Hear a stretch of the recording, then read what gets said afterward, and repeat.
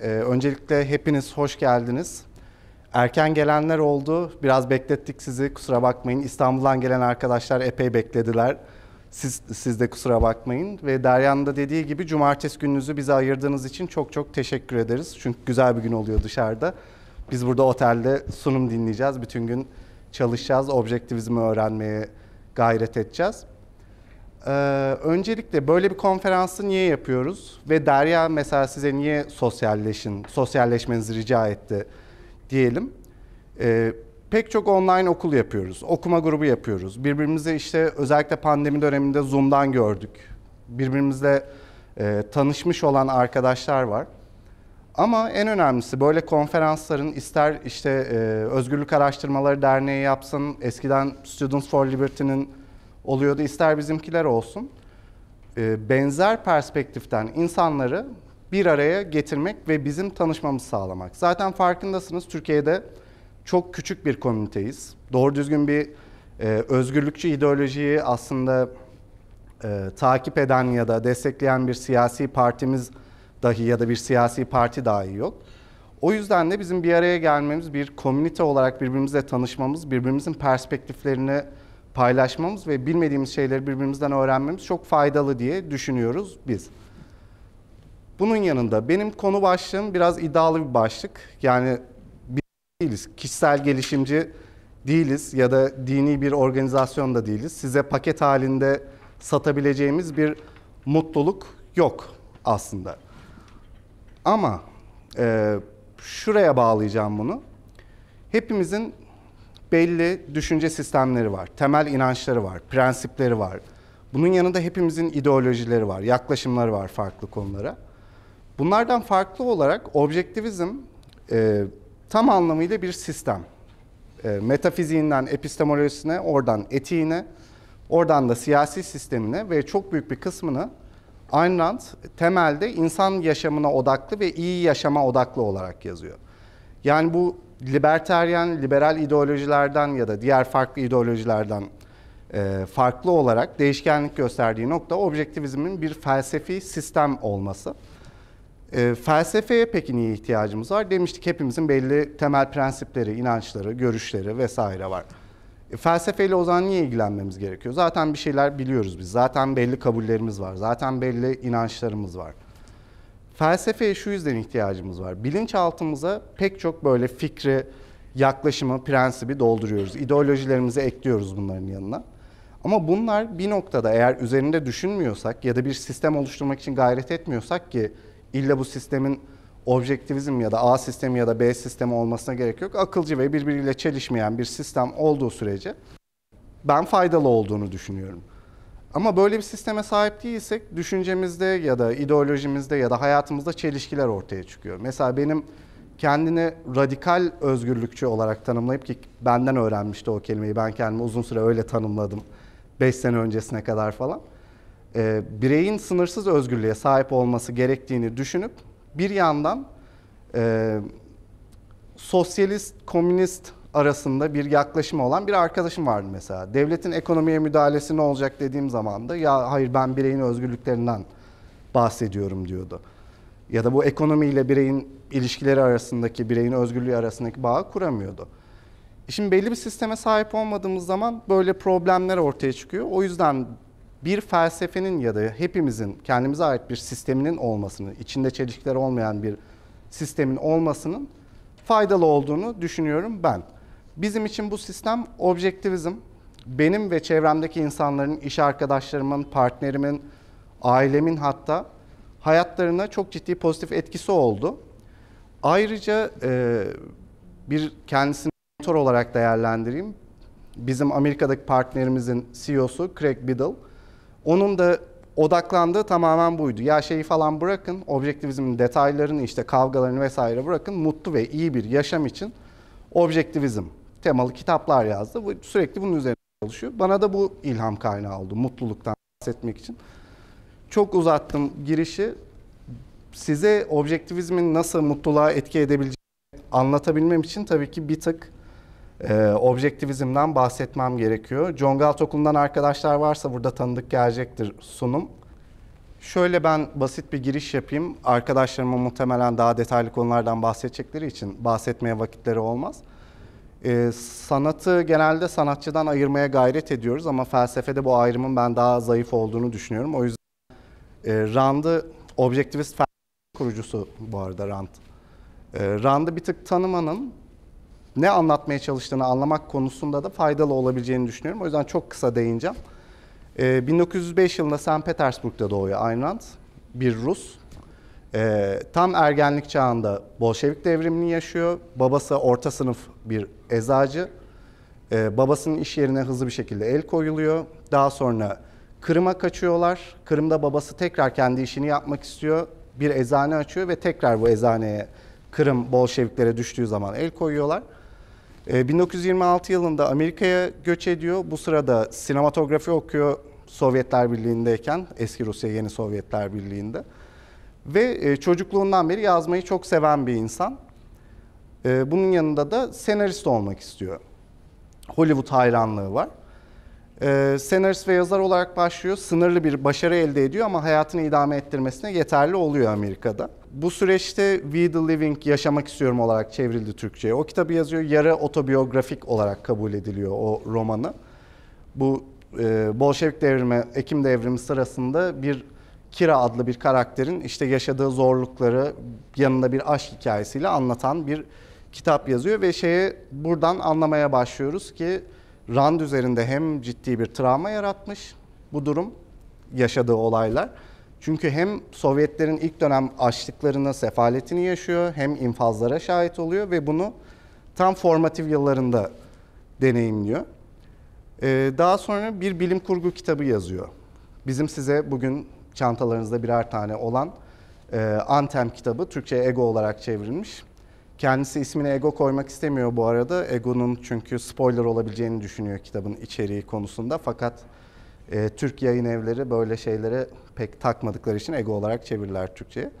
Bu da distopik bir e, kitap, distopik bir bilim kurgu kitabı ve e, şunu konu alıyor. Bireysellik yok edildiği zaman, tamamen kolektivist bir yapıya geçildiği zaman e, teknoloji, ilerleme, e, insanların herhangi bir konuda akıl yürütebilmesi vesaire çok bir, ciddi bir şekilde baskılanıyor. Bunu bir distopik bilim kurgu hikayesinde anlatıyor.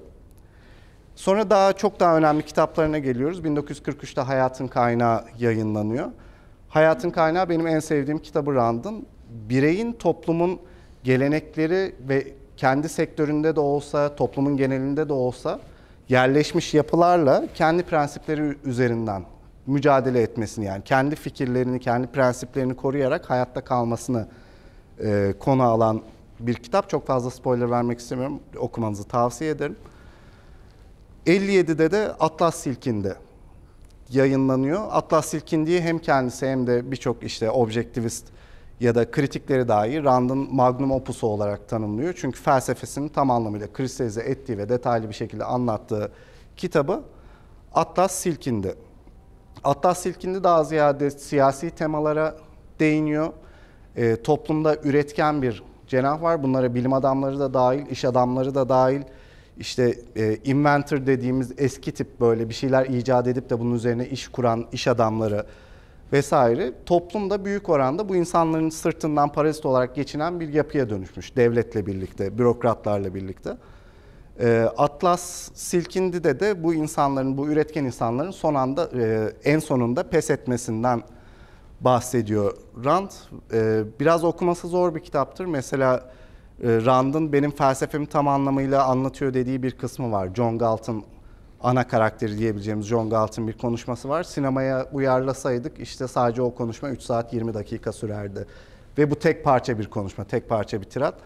O yüzden ben yani önemli bir kitap ama okumayı çok sevmem. Yani kurgusal bir roman olarak iyi bir roman değil. Ee, 1920'lerde kafasında bireycilik e, üzerinden şekilleniyor objektivizm fikirleri. 60'larda da olgunlaşıyor ve hatta Silkinli'den sonra çok büyük bir üne kavuştu. çok pardon, kavuştuğu için televizyonlara çıkmaya başlıyor. Üniversite kampüslerine davet ediliyor. Siyasilerle e, ilişkileri artıyor. İki tane de dergi çıkarıyorlar bu süreçte. E, çok fazla soru aldığı için biz kurgusal romanlardan öğrenmek istemiyoruz felsefenizi ya da daha özet, daha net bir şekilde nereden öğrenebiliriz sorusuna karşılık olarak da o zaman Nathaniel Brandon'la birlikte daha sonraki yıllarda da Leonard Peikoff'la birlikte e, kurgu olmayan felsefesini açıklayan kitaplar yayınlıyorlar. E, akciğer kanserine yakalanıyor e, 70 yaşındayken. Bir ameliyat geçiriyor. Ondan sonra da aktif toplum hayatından büyük oranda çekiliyor.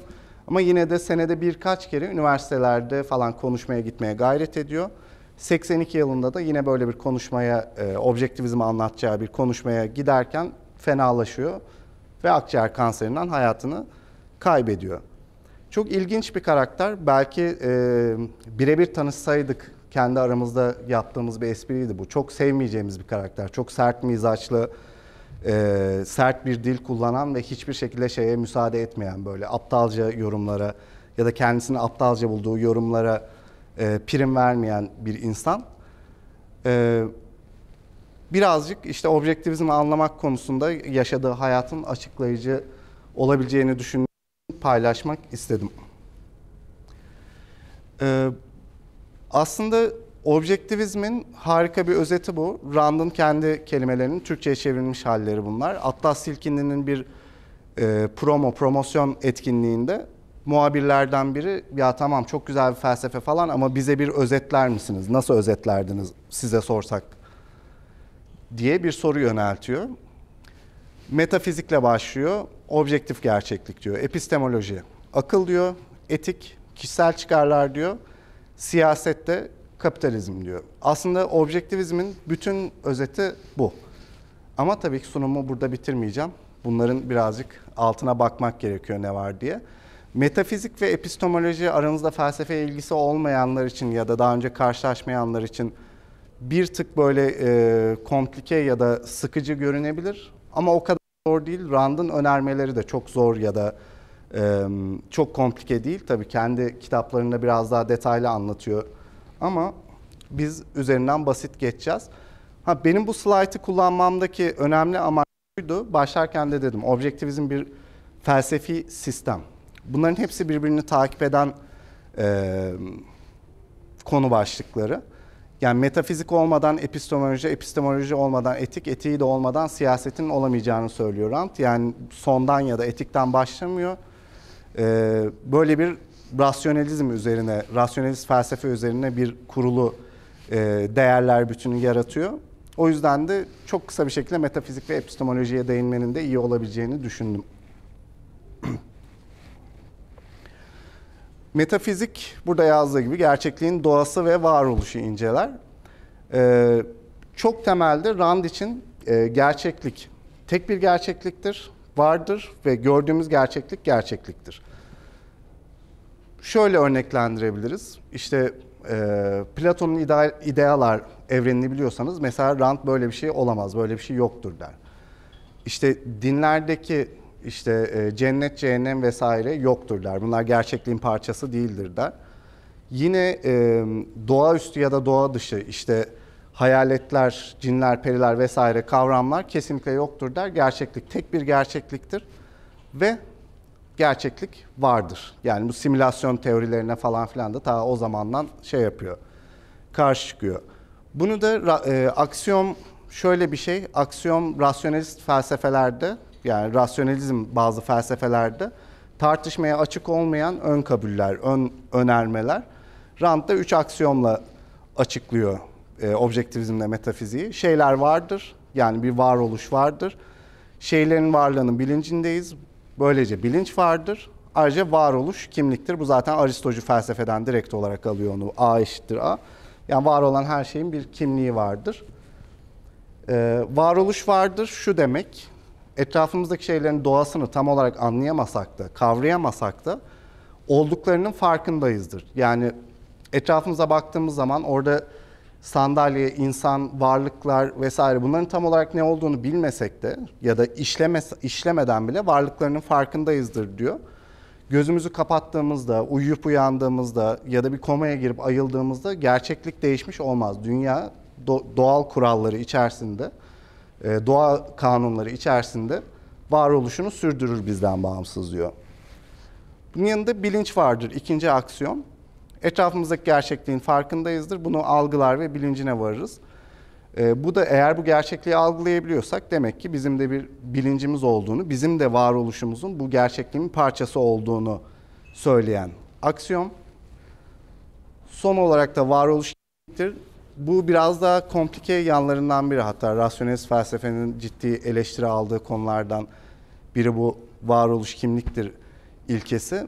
Bir şey sadece o şeydir. Bir şeyin temel doğası vardır. O temel doğasına indiğinizde, o temel doğayı değiştirdiğiniz zaman e, o şey artık o şey değildir diyor ve bir şey aynı anda iki şey olamaz diyor.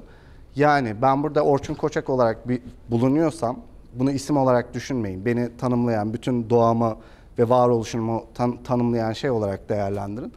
Ben aynı zamanda Ahmet, Mehmet ya da başka bir ya da başka bir şey olamam. Burada aynı zamanda bir aslan ve bir insan olamam gibi değerlendirebiliriz. Ee, Özgür'ün felsefe arka planı var. Benden sonra konuşacak. Bu konuları o daha iyi anlatır diye düşünüyorum. Ve sorularınızı da ona yöneltebilirsiniz.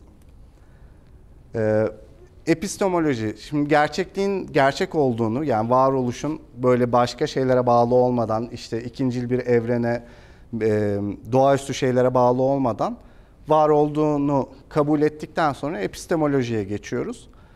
E, Rand mesela doğru bilginin bilinebilir olduğunu söylüyor ama bunu gerçekliğin e, varoluşuna bağlıyor. Yani gerçek bir evrenin ve yapının varoluşuna bağlıyor. Öyle bir şey olmasaydı zaten doğru bilgi de bilinebilir olmazdı. O yüzden metafizikten başladık zaten. E, Rand buna bir e, bu süreci tanımlayacak bir preseptler oluşturma ve preseptleri rasyo, akıl yoluyla konseptlere çevirme e, sürecinden bahsediyor. Benim çizimim bu arada, takdir edersiniz herhalde. E, preseptler aslında bir e, algıladığımız bilgi yığınları. İşlemeden önce algıladığımız bilgi yığınları. Yani bunu bir temele oturtmadan, nesnelerin doğasını tanımlamadan önce oluşturduğumuz bilgi yığınları. Bu Rand'ın kendi örneğinden bu. Özellikle şeyden başlıyor, küçük çocuklardan başlıyor. Ağaç konseptine sahip olmayan bir küçük çocuk alalım diyor. Bu çocuk sadece yeşil ve kahverenginin bir blurunu görür diyor. Yani bir karmaşasını görür diyor. Daha sonra e, yeşil kısmının dokunarak yumuşak olduğunu, işte kahverengi kısmının sert olduğunu algılar diyor. Bunun yanında işte farklı dokulara sahip olduğunu algılar diyor ve bunun kendi başına özel bir nesne olduğunu düşünür diyor. Hala konsepte ulaşmaz diyor. Daha sonra bu ağacın birden fazla olduğunu ve kendisi gibi özgün bir şekilde burada bulunmadığını fark ettiği zaman ağaç konseptine ulaşır diyor. Ağaç diye bir şey vardır ve ağaçlar belli temel özelliklere sahiptir ve bu ağacı her gördüğümüz yerde tanıyabiliriz ya da bu konsepti kullanarak fikir yürütebiliriz gibi. Daha sonra bu konseptleri bir araya getirip orman gibi kavramlara ulaşırız diyor. Daha komplike konseptlere ulaşırız diyor. Mesela bir ormanda kaç ağaç vardır sorusunu soramayız. Bu cevaplanabilir bir soru değil. Oturup ormandaki ağaçları tabii ki sayabiliriz ama orman konsepti birçok ağacın bir araya gelmesinden oluşuyor. Daha sonra bu konsepti daha komplike hale getirip yeşil alan, koru, işte Amazon ormanı, tropik orman vesaire gibi e, konsepti çeşitlendirebiliriz, büyütürüz ve bu basit konseptlerden komplike konseptlere giderek e, şey yaparız diyor. Hem e, felsefenin oluşumunu böyle açıklıyor, hem e, komplike kullandığımız komplike konseptlerin oluşumunu bu basitten zora doğru gitmek şeklinde bu basit konseptlerin bir araya eklenerek ya da değerlendirilerek oluşması şeklinde açıklıyor. Ee, bunun yanında tabii arkadaşlık mesela işte iyilik, kötülük bunların hepsi birer konsept. Ve ulaşılması zor konseptler aslında çocukken basit bir şekilde bize anlatıyorlar. İşte arkadaşına vurmak kötüdür, arkadaşının işte silgisini almak, çalmak kötüdür vesaire diye. Ama bu konseptleri her zaman e, aklımızı kullanarak gerçeklikle sınamamız gerekiyor. Bizim e, arkadaşlığı mesela e, başka insanlar için sonsuz fedakarlık yapmamız ya da arkadaş dediğin gelir beni döver diye bir konsept oluşturduğumuz zaman biz ki oluşturabiliriz. Konseptlerde hata yapabiliriz konsept oluştururken. Ama bu konseptin sağlıklı olduğunu ya da genel geçer olduğunu göstermiyor. O yüzden sürekli olarak aklımızı kullanarak bu konseptleri sınamamız gerekiyor. Gerçeklikle sınamamız gerekiyor. Gerçeklik bağından koptuğumuz zaman zaten hata yapmaya başlıyoruz. Daha sonraki süreçlerde de, etikte de yani temel başlangıcımız bu olduğu için değer oluşturmada da her konuda hata yapmaya başlıyoruz. O yüzden konseptler çok temel bir konu.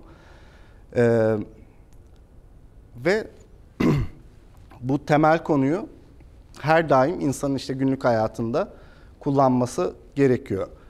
Buradan e, Rand'ın mesela Aristo'dan ayrıldığı insan rasyonel hayvandır. Tamam ama rasyonel olması kendi seçimidir. Birazdan etiğe geçeceğimiz için e, Rand mesela bireyin özgürlüğünü burada temellendirir. Tamam rasyonel olmamızı, aklımızı kullanıp konseptleri değerlendirmemiz gerektiğini falan söyledik. Rand bunun otomatik ve zorunlu bir süreç olmadığını söylüyor. Bunun için volition yani Türkçe irade olarak güzel çevrilebilir herhalde. Aklınızı kullanmanız için irade göstermeniz gerektiğini söylüyor. Aklınızı kendiniz kullanıyorsunuz. Kullanmamak da sizin en önemli seçiminiz ve en temel özgürlüğünüz. Buradan etiğe geliyoruz. Yine RAND'a sorulan, e, o dönem çok fazla sormuşlar. Bir özetler misiniz sorularını. Bu da RAND'ın etiğinin özeti. İnsan ne amaçla vardır? Yaşam diyor. Hangi temel prensip yoluyla bu amaca ulaşır? Akıl. İnsanın faaliyetlerinden kim çıkar sağlamalıdır? Kendisi. Aslında objektivist e, etiği bir tık öğrendikten sonra bu da harika bir özet. E, akılda kalıcı olması açısından. Şimdi daha sonra Ahmet'in de anlatacağı biraz bir tık e, zor e, bir konu değerler konusu. Değerler basitçe, e, Türkçe çevirisi çok tam oturuyor bunun. Bütün canlıların kazanmak için çabaladıkları şeyler, sahip olmak için çabaladıkları şeyler. Mesela bütün hayvanlar da yemek ve işte barınak ve güvenlik ihtiyacı için çaba gösterir. Bu onlar için değerdir. İnsanlar da benzer çabaları gösterir. Bu da onlar için e, değerdir.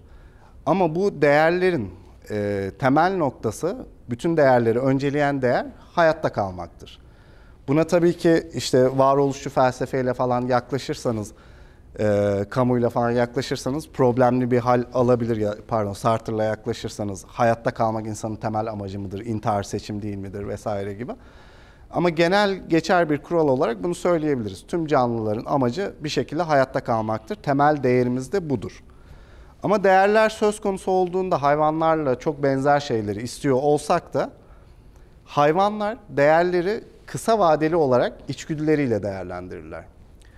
İnsanlar için bu durum biraz daha farklı. Biz uzun vadeli değerler elde edebilmek için kısa vadede, e, uzun vadede alacağımız değerden daha düşük değerlerden vazgeçebiliyoruz. Mesela buna şunu örnek verebiliriz. Ee, insanlar çalıştıkları dakika başına para almıyorlar mesela ya da saat başına para almıyorlar.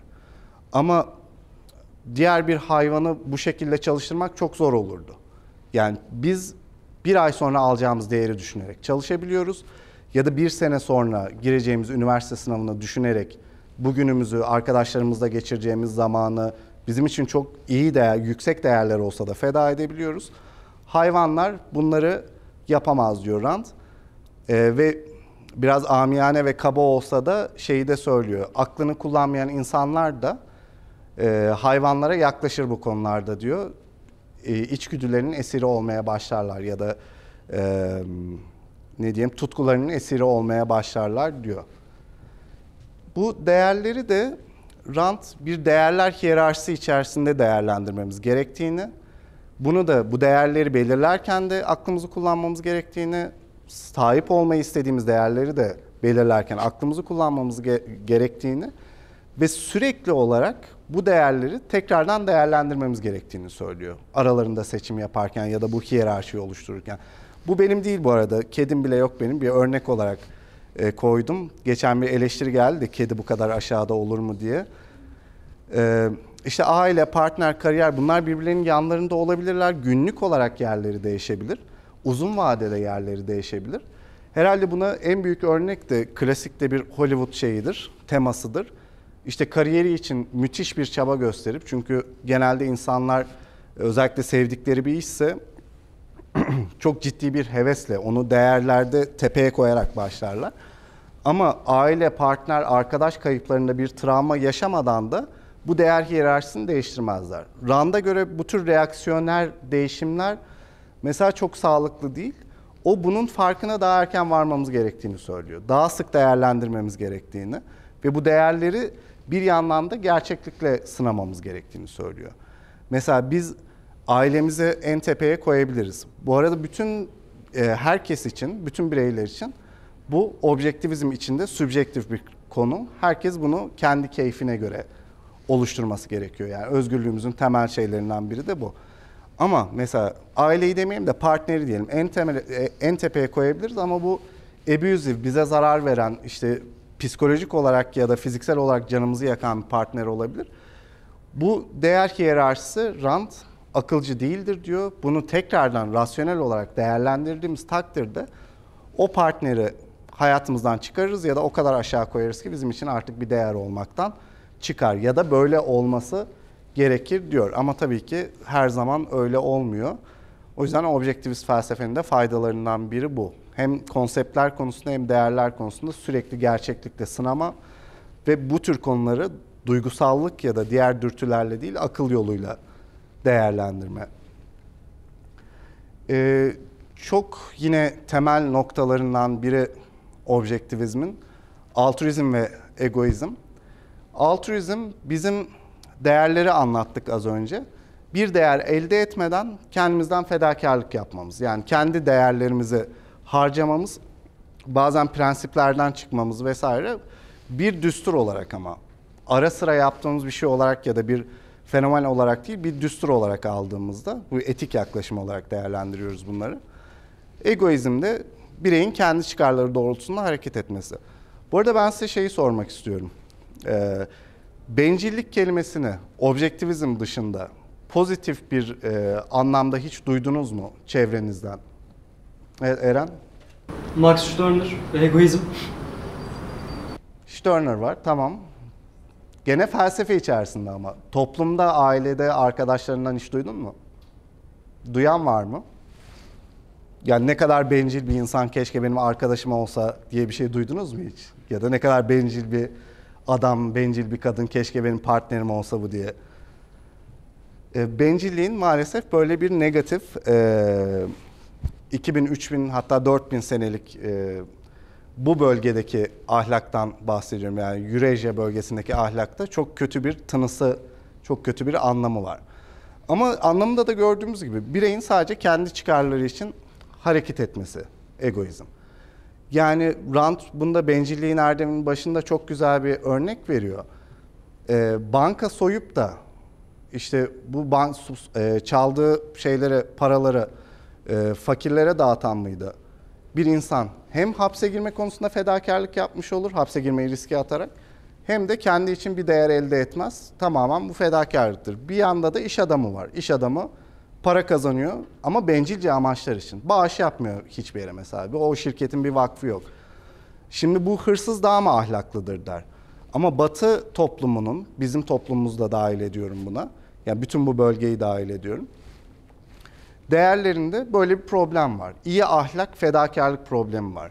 Rand'ın spesifik olarak bencillik kelimesini kullanmasının da sebebi bu o kadar ona ters geliyor, o kadar böyle sinir bozucu geliyor ki ahlakın fedakarlık üzerinden temellenmesi. Hayır diyor, bencillik iyi ahlaktır diyor. Bunu da size anlatacağım diyor. Etiğin de zaten e, en çok bilinen ya da en çok paylaşılan ya da bir yandan eleştirilen kısmı e, bencillik konusudur. Ama e, negatif bir anlamı olduğunu ya da negatif bir biçimde kullanıldığını az önce konuştuk aslında negatif bir anlama gelmesine gerek olacak hiçbir şey yok egoizmin içinde.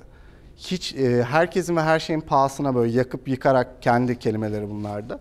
Bir şeyler elde etmek demek değil. Ben bir şey istiyorum diye çevremdeki herkese zarar vermek değil. Rand'ın felsefesinde, objektivizmde her birey eşit ve kurucu babaların direkt lafını alır Rand.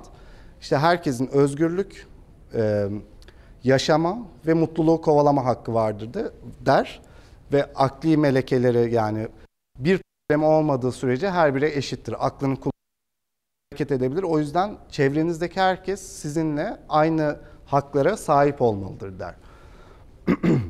O yüzden de kendimizi nasıl feda etmiyorsak yani iyi ahlak kendimizi feda etmemekse başkalarını bizim çıkarlarımız için feda etmemek de iyi ahlak. Yani sadece hep bize, sadece bize diye bir durum yok. Yine belki Ahmet biraz daha detaylandırır egoizm konusunu. Uzun bir konu çünkü. Ee, tüm bunlar da şurada külmine ediyor. Bir toplumsal düzene ihtiyacımız var birbirimizle ilişki kurabilmek için. Objektivizm atomist bir e, felsefe değil. Yani gidin dağa çıkın, böylece birey olarak özgür yaşarsınız, tek başınıza olursunuz değil. Bireycilik zaten temelinde böyle bir şey değil. Bazen karıştırılıyor. Ama Rand diyor ki bu konuda e, kapitalizm bu arada utiliter olarak savunmaz Rand hiçbir zaman. İlk savunusu ahlakidir. Kapitalizmin üretken ya da toplumları müreffeh yapması, refah getirmesi yan ürünüdür. Kapitalizm ahlakidir çünkü bırakınız yapsınlar kapitalizmi, e, bireylerin gönüllü olarak üçüncü bir kişinin zorlamasına maruz kalmadan birbirleriyle ilişki kurabilecekleri tek toplumsal düzen diyor. Sadece bir ekonomik sistem değil, toplumsal düzen olarak da alıyor bırakınız yapsınlar kapitalizmini. Bu sebeple de e, minarkist yani devletin sadece üç temel görevinin olduğu iç güvenlik sizi suçlulara karşı korumak, dış güvenlik sizi dışarıdan gelen yağmacılara karşı korumak ve yargı. Yargıyı da bireyler arasındaki kontratların e, objektif bir şekilde, tarafsız bir şekilde değerlendirmesi için bir kurum olarak koyuyor ve böyle bir devlet modeli ya da toplum modeli yaratıyor ya da olması gerek. Bunları da anlattım. Buradan ilk slayta geri dönüyoruz. Benim dediğim gibi temel biri bir sistem olarak objektivizme size gösterebilmekte. Ee, onu biraz e, başardığımı umuyorum kısmi olarak da olsa. Takdir edersiniz bu kadar detaylı bir felsefeyi e, 15-20 dakikada anlatmak zor. Şimdi bütün bunlar ışığında bunun mutlu yaşamla ne alakası ee, bize çünkü temelde öğretilen belli başlı ahlaki öğretiler dışında ahlak prensiplerinin %90'ı, %95'i sizi mutsuz etmek üzerine kuruludur. Sizin bir şeyler için fedakarlık yapmanız, kendinizi dizginlemeniz, e, kendinizi tutmanız, kendiniz olmamanız, e, kimliğinizi değiştirmeniz, mesela bir grup içerisinde e, Orçun Koçak olarak işte Özgür Özer olarak vesaire değil de o toplumun kimliğiyle bulunmanız gibi temeller üzerine kuruludur çoğu. Bir yandan da hedonist yaklaşan yani hazcı yaklaşan ahlaki öğretiler vardır. Mesela epikürcüler biraz daha yumuşak e, hazcıdır bu konuda. Düz hedonistler vardır. Onlar sadece önemli olan haz olduğu bireyin her şart altında haz elde etmesi gerektiğini söyler. Rand'ın bu konuya yaklaşımı şu şekilde. Birey e, aklını kullanarak üretken olduğu ve öz saygıyla yaşayabildiği zaman bir mutluluk patlaması yaşamaz ama sürekli olarak devam eden bir haz alır diyor. Bunu biraz daha şöyle açıklayabiliriz. Üretken olma konusundan başlayalım. Aklını kullanmaktan bahsettik. Üretken olma konusu sizin bir e, fabrika işçisi olarak %120 üretmeniz ya da 8 saatlik 10 saatlik mesaide işte akranlarınızdan fazla üretebilmeniz değil. O ekonomik anlamda üretkenlik değil. Sizin için önemli olan değerlere sahip olmaya çalışırken ya da değer yaratmaya çalışırken ve bu değerleri kendi çıkarınıza olacak şekilde yaratmaya çalışırken üretken olmanız. Çünkü e, hepimiz de farkındayızdır. Burada işte üniversite öğrencisi olan arkadaşlar vardır, mezun olanlar vardır, çalışanlar vardır. Ciddi bir çaba gösterdikten sonra bir tez olsun, bir makale olsun, bir sınav olsun, bunun gibi bir etkinlik olsun. Başarılı olduğu zaman çok büyük bir haz duyarız bundan. Bu, bu bir çeşit üretkenlik olur. Yani bizim algımızda bir çeşit üretkenlik olur. Öz saygı nerede geliyor? Öz saygı da bu üretkenliği kendimizden nefret etmeyecek şekilde yapmamızda geliyor. Hayatta bütün amacımız işte 1 milyar dolarlık bir servete ulaşmak olabilir. Ama bu servete ulaşırken ki pek çok yol olabilir önünüzde. Çok zeki bir insan olabilirsiniz, çok iyi bir dolandırıcı olabilirsiniz vesaire. Bir sürü yol olabilir. Ama bunu en sonunda kendinizden nefret edecek şekilde yaparsanız ya da yalnız kalacak mı? Bir aile kurmak isterken yalnız kalacak şekilde yaparsanız Rand'ın öz saygıdan kastettiği bunlar. Kendi hayatınızı sevecek ve kendi hayatınıza saygı duyacak şekilde üretken olmak ya da o değerlere bu şekilde sahip olmak. Ee, mutluluk konusunda da söyleyeceklerim bu kadar. Ya o bu şekilde özetliyor.